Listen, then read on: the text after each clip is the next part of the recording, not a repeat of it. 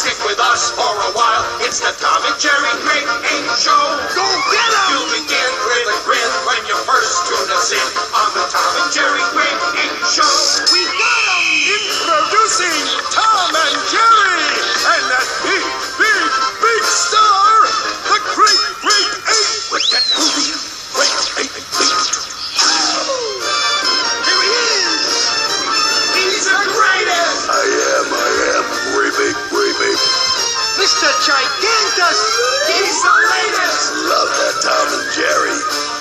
He lots to see, everything's gonna see.